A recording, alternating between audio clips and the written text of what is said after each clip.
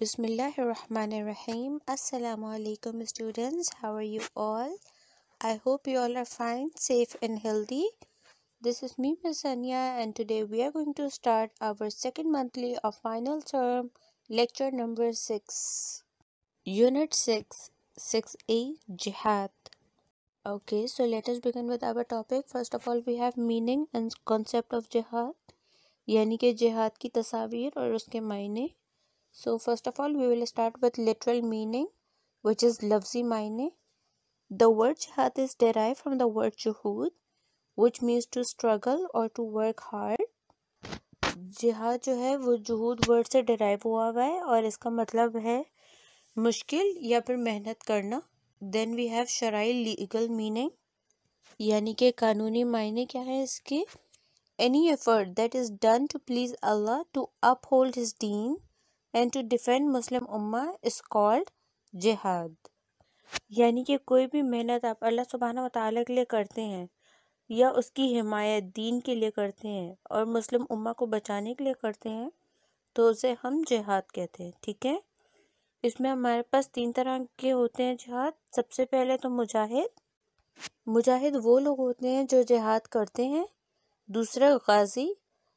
ये वो लोग होते हैं जो जिहाद से वापस ज़िंदा आ जाते हैं और आखिर में शहीद वो लोग होते हैं जो जहाद में अपनी जान दे देते हैं या फिर छोड़ देते हैं अपनी जान, ठीक है? तो उनको हम शहीद बोलते हैं।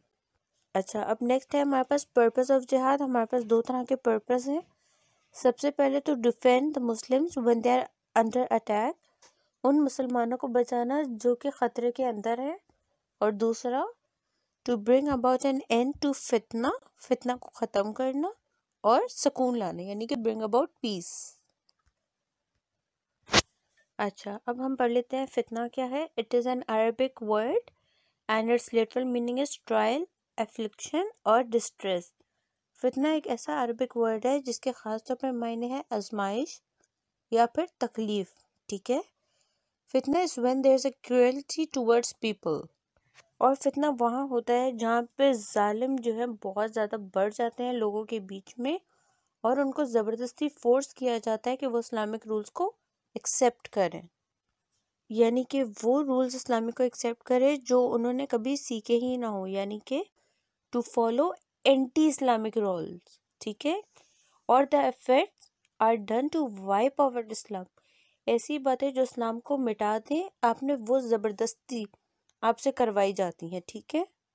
या फिर और the people are stopped from acting upon Islam ठीक है? इसका मतलब है फितना कि आपसे ज़बरदस्ती इस्लाम को रुकवाया जाता है। आपको तकलीफ़ें दी जाती हैं, आप पे आजमाइशें डाली जाती हैं, ठीक है? Okay so now we have the background of jihad अब हमारे पास जहाद के पेश मंज़र हैं, क्या हैं? चले देख लेते हैं। इस्लाम में से पीस लविंग दीन It does not like those who spread distress and destruction in our society.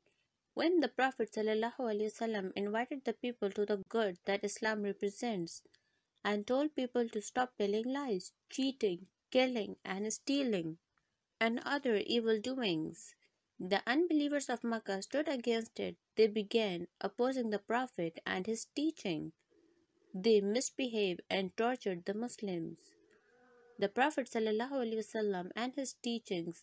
they misbehaved and tortured the Muslim.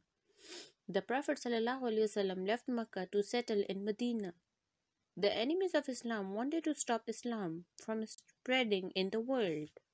So they planned and prepared to attack Medina to wipe out Islam. At that moment, Allah Almighty permitted the Muslims to do jihad against them.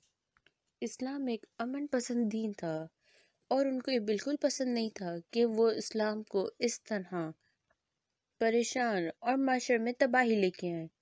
When the prophet invited the people और जब हमारे प्यारे नबी ने मुसलमानों को इस्लाम की दावत दी और उनको सिखाया कि हमें झूठ, चोरी, एक दूसरे को मार धार और गलत काम नहीं सिखाने चाहिए तो सारे अनबिलीवर जो थे मक्का के वो हजूर वसल्लम के ख़िलाफ़ खड़े हो गए और उनको अजियत देनी शुरू कर दी। उस टाइम पे सारे मुसलमान हजूर सल्लम के साथ मक्का छोड़ के मदीना में चले गए। वहाँ पे इस्लाम के जो दुश्मन थे, उन्होंने उनको रोका इस्लाम को फैलाने के लिए और कहा कि plan and prepare to attack Medina to wipe out Islam उन्होंने ये तहिया कर दिया कि ना तो वो इस्लाम को फैलने देंगे और जो फैल गया है उसको मिटा देंगे। उस वक्त अल्लाह सुबहाना वाली ने सारे मुसलमानों को जिहाद की इजाज़त दी। ये था आपका बैकग्राउंड जिहाद के ऊपर, यानी कि आपका पेश मंजर, ठीक है? अब है हमारे पास सिक्योरिटी ऑफ़ जिहाद, यानी कि आला जिहाद। यहाँ पे हर आदमी की ख्वाहिश थी कि वो अपनी अपनी फैमिलीज़ के साथ बहुत ही सुकून और आरामदेह ज़िंदगी गुजारें।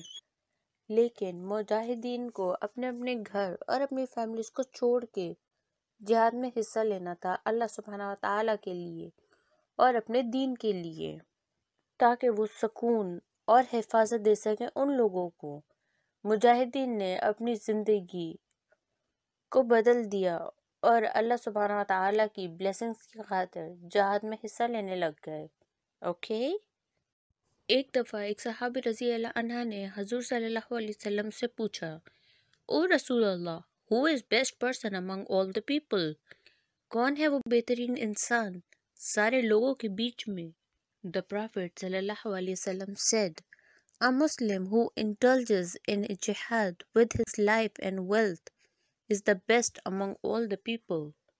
यानी कि एक मुसलमान जो अपने जान माल के साथ जिहाद में शामिल है वो तमाम लोगों में से बेहतरीन है द प्लेस ऑफ शहीद वो जगह जो शहीदों के लिए है A mujahid who lays his life in jihad in the way of Allah acquires the great status of being shaheed. Allah Almighty says,